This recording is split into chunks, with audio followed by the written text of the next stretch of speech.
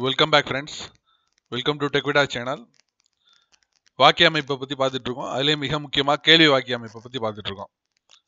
போன ப்ரோக்ராமில் வந்து மூணு டைப்பான கொஸ்டின்ஸ் இருக்குன்னு சொன்னோம். Yes or no type WH WH question type அப்புறம் நெகட்டிவ் கொஸ்டின் டைப் சரியா? மிக முக்கியமான ஒரு பகுதி. அதனால் கவனமாக கேளுங்க. டவுட்ஸ் இருந்தால் உடனே கிளியர் பண்ணிடுவோம். சரியா? இப்போ வந்து ஃபஸ்ட்டு எஸ்ஆர் எஸ்ஆர்னோ டைப் தான் வந்து நம்ம பார்க்க போகிறோம் ஓகேவா இப்போ உதாரணத்துக்கு இந்த மூணு டைப் நான் சொன்னேன் பார்த்தீங்களா இந்த மூணு டைப் சாரி இந்த மூணு டைப்புக்கும் ஒரு உதாரணங்கள் நான் இப்போ சொல்லிடுறேன். இப்போ உதாரணத்துக்கு yes or no type question வந்து கன்ஃபர்மேஷன் கொஸ்டின்னு சொல்லிட்டு நான் சொன்னேன். அதுக்கு உதாரணத்துக்கு இப்படி சொல்லலாமான்னு பாருங்க. நம்ம கேட்குற கேள்விக்கு அவங்க பதில் வந்து எஸ் அல்லது நோ தான் சொல்லணும். அப்படிதான் சொல்லணும். சரியா? அதை எதிர்பார்த்து தான் நம்ம அந்த கேள்வியை கேட்குறோம் உதாரணத்துக்கு நீங்கள் மதுரையில் இருக்கீங்களா? கேட்கலாமா? ஆமாம் இல்லை இல்லை அப்படின்னு அவங்க பதில் சொல்லுவாங்க. கரெக்டா இப்போ இதே கொஸ்டினை ஸ்லைட்டாக நான் சேஞ்ச் பண்ணி அடுத்த கொஸ்டின் இந்த டைப் இருக்குல்ல டபிள்யூஹெச் கொஸ்டினில் கேட்குறாங்க எப்படி நான் கேட்குறேன்னா எங்கே இருக்கீங்க? அப்படின்னு சொல்லி கேட்கணும். எங்கே இருக்கீங்க? எங்கே இருக்கீங்க? அப்படின்னு சொல்லி கேட்கலாம். இப்போ நான் மூணாவதாக அந்த நெகட்டிவ் டைப்புக்கு நான் வந்து இப்போ வேணாம் அப்படின்னு சொல்லி நான் சொல்லியிருந்தேன். சரிங்களா? நெகட்டிவ் டைப் கொஸ்டின் ஒன்று இருக்குல்ல? அது வேணாம் இப்போ அப்படின்னு சொல்லிட்டு. சொல்லியிருந்தேன் லாஸ்ட் கிளாஸில் அதனுடைய விஷயம் என்னன்னு கேட்டிங்கன்னா இந்த எஸ்ஆர்னோ டைப்பில் அதே சேம் தான். அடுத்து நம்ம அதில் தான் பிரிக்கிறோம் அதை? இந்த எஸ்ஆர்னோ டைப் சொன்னோம் பார்த்தீங்களா மதுரையில் இருக்கீங்களான்னு கேட்டப்ப அது வந்து பாசிட்டிவ் கொஸ்டின் டைப்பாக இருக்குது எஸ்ஆர்னோலே அதோடைய ஆப்போசிட் தான் வந்து நெகட்டிவ் கொஸ்டின் டைப்பு புரியுதா? எப்படி இதை சொல்லலாம்னா அந்த கொஸ்டின்ல நான் எப்படி எடுக்கிறேன்னு பாருங்க. மதுரையில் இல்லையா? மதுரையில் இல்லையா? ஒரே கொஸ்டின் தாங்க. நான் எப்படிலாம் கேட்டிருக்கேன் பாருங்க. மதுரையில் இருக்கீங்களா? எங்கே இருக்கீங்க? மதுரையில் இல்லையா? இப்போ உதாரணத்துக்கு இதை எக்ஸ்ப்ளனேஷன் பண்ணணும்னா மதுரையில் இருக்கீங்களா சார் அப்படின்னு கேட்டோம்னா ஆமாம் அப்படின்னு சொல்லுவாங்க. இல்லை இல்லைன்னு சொல்லுவாங்க. இப்போ எங்கே இருக்கிறீங்கன்னு கேட்டால் அவங்க கண்டிப்பாக வந்து அடிஷ்னல் இன்ஃபர்மேஷன் கொடுத்தாகணும். அப்போ டபிள்யூஹெச் கொஸ்டின்ஸை நம்ம ஃபார்ம் பண்ணோம்னா அவங்க விவரங்களை சொல்லி ஆகணும். ஆனால் எஸ்ஆர் நோ டைப் பாசிட்டிவில் சொல்கிறாந்தா எஸ் அல்லது நோ தான் சொல்லணும். கன்ஃபர்மேஷனாக எஸ் சொல்கிற மாதிரி தான் நம்ம அந்த கேள்வியை கேட்போம். ஓகேவா ஆனால் நெகட்டிவ் கொஸ்டின் டைப்புங்கிறது மதுரையில் இல்லையா? வரலான்னு பார்த்தேன். இல்லையா நீ அங்கே? இல்லையா நீ? அப்படின்னு. ஆனால் அதுலேயுமே வந்து பதிலாக வந்து ஆமாங்கிற மாதிரி தான் இருக்கும். அப்போ மதுரையில் இல்லை. ஆனால் வந்து எஸ்ன்னு தான் வருது. நெகட்டிவ் கொஸ்டின் டைப்லையும் எஸ்ன்னு தான் வருது. இந்த எஸ்ஆர் நோ டைப் இதுலேயும் வந்து எஸ்ன்னு தான் வருது. ஆனால் இது பாசிட்டிவ் டேர்ம் ஆனால் அது வந்து நெகட்டிவ் டேர்ம் சரிங்களா? ரெண்டுக்கும் உள்ள வித்தியாசம். இதில் இதில் வந்து இன்னொரு வகையை நான் சொல்கிறேன் பாருங்கள் வீட்டில் இருக்கீங்களா? அம்மா வீட்டில் தான் இருக்கேன். சரியா? ஒருவேளை வீட்டில் இல்லையான்னு நம்ம கேட்குறோம். வந்தா நேற்று வீட்டில் இல்லை போல இருக்கு. வீட்டில் இல்லையாப்பா? யாரும் வீட்டில் இல்லையா? சரிங்களா? இப்போ இங்கிலீஷில் கேட்குறது தான் நம்ம பார்க்க போகிறோம் முதல்ல தமிழ் வாக்கியம் அதுக்கு நிகரான உதாரணங்களோட பார்க்குறோம். சரி டீட்டெயில் இன்ஃபர்மேஷன் வேணும் அப்படின்னா அந்த கேள்வி எப்படி கேட்கலாம்? எங்கே இருக்கீங்க? எப்படி? எங்கே இருக்கீங்க? அப்படின்னு சொல்லிட்டு கேட்கணும். புரியுதா? சேம் தான். அதே தான் வந்து ரெண்டாவது இதுக்கும் வரும். நான் சொன்னேன் இந்த சீரீஸ்க்கு வீட்டில் இருக்கீங்களாங்கிற கேள்விக்கும் நம்ம டீட்டெயில் இன்ஃபர்மேஷன் எங்கே இருக்கீங்கன்னு தான் நான் கேட்போம். புரியுதா? இந்த புரியுதாங்கிறதுலே கூட கேட்கலாம். இந்த பாருங்க இதில் வந்து கேட்குறாங்க எஸ்ஆர் நோ டைப்பில் வந்து கேட்குறாங்க நான் என்ன கேட்பேன்? புரியுதா அப்படின்னு கேட்பேன். ஆமாம் சார் புரியுது. புரியலையா அப்படின்னு சொல்லிட்டு இதில் கேட்பேன். Yes or not yes or negative question டைப்பில் இதில் என்ன புரியுதுன்னு கேட்பேன். புரியுதுங்களா? சரி. இப்போ நம்ம மேட்ருக்கு வரோம் இப்போ வந்து எஸ்ஆர்னோ டைப்பில் ஃபஸ்ட்டு நம்ம எடுத்துக்கோம்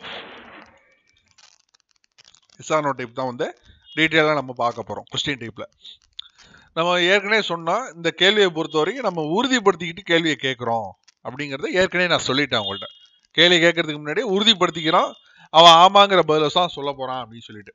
உதாரணத்துக்கு அப்பா என்ன சொல்லியிருக்காரு? ஆஃபீஸில் குமார்னு ஒருத்தர் இருப்பார். அவர்கிட்ட போய் இந்த ஃபைலை கொடு அப்படின்னு சொல்லிட்டு சொல்லி சொல்லிடுறாப்புல ஆஃபீஸ் தெரியுது இடம் தெரியுது ஃப்ளோர் தெரியுது எல்லாம் அடிச்சு பிடிச்சி போனால் சொன்ன இடத்துல ஒரு மூணு பேர் இருக்காங்க இல்லை மோர் தென் ஒரு ஆளுக்கு இல்லை ரெண்டு ஆளுக்கு மேலே இருக்காங்க. இப்போ போய் நீங்கள் இதில் யார் குமார் இல்லை யார் ராஜான்னு வச்சுக்கோ யார் ராஜா அப்படின்னு கேட்கணும் அப்படிங்கும்போது நம்ம எப்படி கேட்குறது அப்படிங்கிறதா நீங்கள் ராஜாவா? அப்படின்னு கேட்பீங்க. இல்லை நீங்கள் குமாரா? இல்லை நீங்கள் ராஜேஷா? அப்படின்னு நம்ம கேட்கணும். சரிங்களா? இதை இதில் வந்து எப்படி இதை வந்து ஆங்கிலத்தில் கேட்குறது அப்படிங்கிற அந்த ஃபார்மேஷன் சரியா? இதுக்கு ரெண்டே ரெண்டு மிக முக்கியமான வாக்கிய அமைப்பு தான். ரெண்டே ரெண்டு வார்த்தைகள். ஆர் யூ அப்படின்ட்டு போட்டு கொஸ்டின் மார்க் புரியுதா? எல்லாம் விளங்கிட்டீங்களா? இதுதான் வந்து எஸ்ஆர் நோ கொஸ்டின்டோடைய மிக முக்கியமான type be verb first next subject நம்ம யார் அப்படி நோக்கி கேட்குறோமோ அவங்களுடைய சப்ஜெக்ட் அது. சரிங்களா? அப்புறம் பி வர்புடைய அந்த அந்த டென்ஸுக்கு என்ன பி வர்பு வருமோ அது. இப்போ உதாரணத்துக்கு சப்ஜெக்ட் யூக்கு வந்து ஆறு வரும். சரிங்களா? இதெல்லாம் நம்ம டீட்டெயிலாக பார்ப்போம். இப்போ இந்த இடத்துல எப்படி கேட்கணும்? Are you mister Raja? கரெக்டா நான் சொல்கிறதுக்கு மிக சரியாக இருக்கா? Are you mister Raja? அப்படின்னு கேட்டோம்னா பொலைட்டாக இருக்கும். அங்கே இருக்கிறவங்களாம் yes I am mister Raja. I am Raja. அப்படின்னு சொல்லுவாங்க. கரெக்டா ஓகே இந்த இடத்துல நமக்கு ஒரு டவுட் வரும். அங்கே மூணு பேர் உட்காந்துக்கிட்டவங்கள போய் ஹூ இஸ் ராஜான்னு கேட்கலாமா? இதில் யார் ராஜா? அப்படின்னு. நல்லா இருக்காது. ஏன் கேட்கக்கூடாதுங்கிறத பின்னாடி பார்ப்போம். முதல்ல ஆரியோ வச்சு நம்ம பார்த்துக்குவோம். சரிங்களா? அப்படின்னு கேட்கலாம். எந்த இடத்துல கேட்குறாங்கிறதுல அப்படியே ஆர்டராக பார்ப்போம். ஓகே அடுத்த ஒரு கேள்வி. இதில் நிறைய எல்லாம் பார்க்க போகிறோம் கொஞ்சம் கோல்டாக இருக்கிறதுனால என்னால் சரியாக கான்சன்ட்ரேஷன் பண்ண முடியல. ஓகே இப்போ உதாரணத்துக்கு இந்த சென்டென்ஸ் இந்த சென்டென்ஸை பாருங்கள் சார் நீங்கள் பிஸியாக இருக்கீங்களா? அப்படின்னு கேட்குறோம் இது சில கேள்விகள் வந்து இந்த இடத்துல நான் ஒரு மென்ஷன் பண்ணுறேன் சில கேள்விகள் நமக்கு எஸ் தான் வரணும் அப்படின்னு ஆன்சர் பண்ணி கேட்கக்கூடிய இடங்கள் வந்து மிக முக்கியமான இடங்கள் சில இடங்கள் இருக்குது உதாரணத்துக்கு நம்ம கவர்மெண்ட் ஆஃபீஸ் ஏதோ ஒரு ஆஃபீஸ்க்கு போயிருக்கோம். அது பஞ்சாயத்து ஆஃபீஸாக இருக்கட்டும் இல்லை விஓ ஆஃபீஸாக இருக்கட்டும். இல்லை தாலுக்கா ஆஃபீஸாக இருக்கட்டும் இதெல்லாம் ரொம்ப கஷ்டம். நீங்கள் மூவ் பண்ணுறது புதுசாக போனீங்கன்னா பழகினவங்களுக்கு ஈஸி அங்கே போயிட்டு அங்கே உட்காந்துருக்கவர்கிட்ட போய் சார் நீங்கள் பிஸியாக இருக்கீங்களா? அப்படின்னு கேட்கலாமா? கேட்கலாமா? கூடாதா? எல்லாம் யோசனை பண்ணி சொல்லுங்கள் சார் நீங்கள் பிஸியாக இருக்கீங்களா? நமக்கு ஒரு வேலை ஆகணுங்க. ரேஷன் கார்டில் ஒரு திருத்தம் பண்ணணும். இல்லை ஓட்டர் ஐடியில் ஒரு திருத்தம் பண்ணணும். இல்லை ஆதார் கார்டில் ஒரு திருத்தம் பண்ணணும். நம்ம போய் முதல் கேள்வி அதான் கேட்போம். போனோடனே திருத்தாமணி கொடுங்கலாம் கேட்க மாட்டோம். கொஞ்சம் இங்கேயும் தெரிஞ்சவங்க விவரமானவங்க எப்படி கேட்போம்னா சார் நீங்கள் பிஸியாக இருக்கீங்களா? அப்படின்னு சொல்லி கேட்போம். ஏன்னா நம்ம என்ன நினச்சிக்கோன்னா அவன் நமக்காக பண்ணி கொடுப்பான் அப்படிங்கிற அந்த ஒரு நினப்பில் கவர்மெண்ட் சர்வெண்ட்டு அவன் சரியாக வேலை பார்ப்பான் அப்படிங்கிற எண்ணத்தை நம்ம செய்வோம். நம்ம அரசு இயந்திரம் பொதுவாக எங்கே பார்த்தாலும் உள்ள இயந்திரம் எப்படி இருக்குன்னா அது பிஸியாக தான் இருக்கும். ஆமாம் சார் நான் பிஸியாக தான் இருக்கேன் அப்படின்னு சொல்லிட்டு சொல்லுவாங்க. ஏன்னா நிறைய பேர் ஆமான்னு சொல்கிறதுக்கு தான் இருக்காங்க. சில பேர் சொல்லவே மாட்டாங்க. அதாவது பேசவே மாட்டாங்க. மேலே பார்த்துட்டு அப்படின்னு சொல்லிட்டு பிசாம இருந்துருவாங்க சரிங்களா? ஒரு ஆஃபீஸ் போகிற நேரத்தில் நீங்கள் போய் சார் நீங்கள் பிஸியாக இருக்கீங்களான்னு கேட்கவே கூடாது. நமக்கு சாதகமாக தான் கேள்வியே கேட்கணும். அவன் எஸ் தான் சொல்லிட்டான்னா நம்ம போன வேலை முடிஞ்சு போச்சு. பார்க்க முடியாது. இல்லை நான் ஃப்ரீயாக தான் இருக்கேன். சொல்லுங்கள் சார் அப்படின்னு கேட்பானா நம்மகிட்ட கேட்க மாட்டான். புரியுதா? ஆகையினால நம்ம கேட்கக்கூடிய கேள்வி சாதுரியமாக இருக்கணும். அதே சமயத்தில் திறமையாக இருக்கணும். அந்த கேள்வி வந்து நமக்கு சாதகமாக அமையும்படி நம்ம அந்த சூழ்நிலையை மாற்றிக்கிற மாதிரி கேள்வியாக இருக்கணும். இதே கேள்வியை எப்படி நம்ம கேட்டால் நமக்கு சாமர்த்தியமாக இருக்கும்? பாருங்க.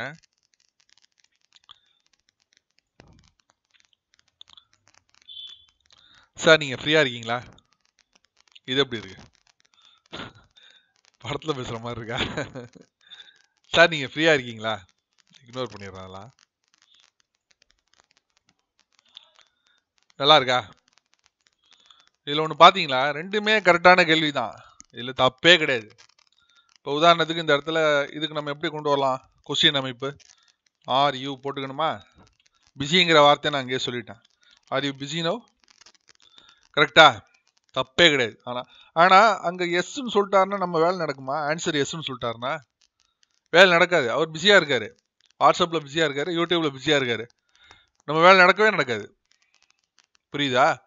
இப்போ நம்ம வேலை நடக்கக்கூடிய மாதிரி நம்ம அந்த சாதுரியமாக ஒரு திறமையாக அந்த இடத்துல நம்ம கேள்வியை வைக்கணும்னா எப்படி கேட்கணும்? சார் நீங்கள் ஃப்ரீயாக இருக்கீங்களா அப்படின்னு கேட்கணும். அப்போ அவர் கண்டிப்பாக எஸ் தான் சொல்லுவார். ஏன்னா most of the persons replying as yes ஓகேவா ஒரு சர்வே சொல்லுது.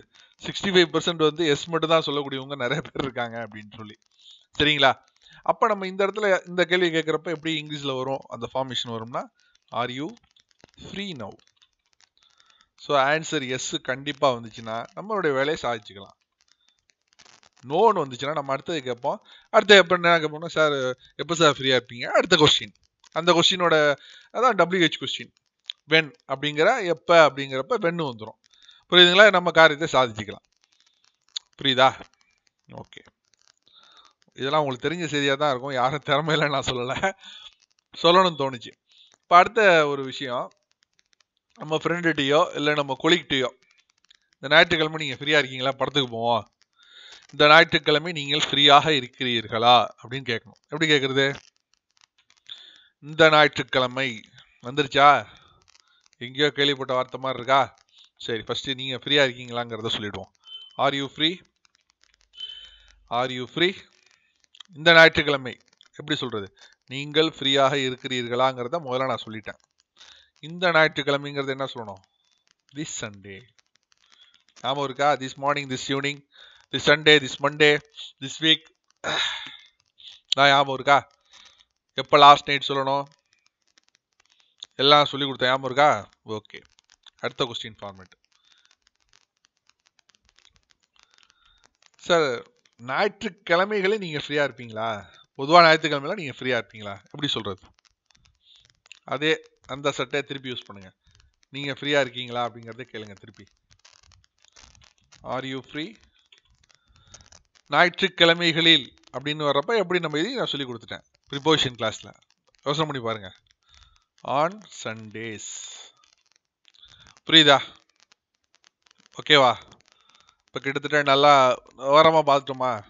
இதோட முடியலாம் இல்லை ஆர்யூ நிறைய இருக்குது ஆர்யூ இருக்குது அப்புறம் யூ ஆருங்கிறது தான் ஆர்யூவாக கேள்வியாக மாறுது. அது நீ அதெல்லாம் நீங்கள் புரிஞ்சிட்டு இருப்பீங்கன்னு நினைக்கிறேன். சாரி யூஆருங்கிறது தான் கேள்வியாக மாறும்போது ஆர்யூன்னு வருது. சரிங்களா? நீங்கள் இருக்க நான் இருக்கேன் அப்படிங்கிறப்ப மன்னிக்கணும். நீங்கள் இருக்கீங்கன்னு சொல்கிறது யூ ஆர். ஓகேவா? இருக்கிறீங்க நீங்கள் இருக்கிறீங்களா அப்படின்னு கேட்கும்போது ஆர் யூ அப்படின்னு மாறுது. கொஸ்டினாக மாறுது. கொஸ்டின் வந்து வெறுப்பு அப்போ முன்னாடி வருது. பி வெறுப்பு சரி அதே போல் நான் ஃப்ரீயாக இருக்கேன். நான் இருக்கேன் நான் இருக்கேனா? அதே மாதிரி நீங்கள் இருக்கேன் அவர் இருக்காரா? அது மாதிரிலாம் எல்லாரையும் பற்றியும் கேட்க போகிறோம் அதெல்லாம் நம்ம தொடர்ச்சியாக வரப்போகுது. டவுட்ஸ் இருந்தால் கேளுங்க. மீண்டும் நாம் அடுத்த நிகழ்ச்சியில் சந்திப்போம். Bye friends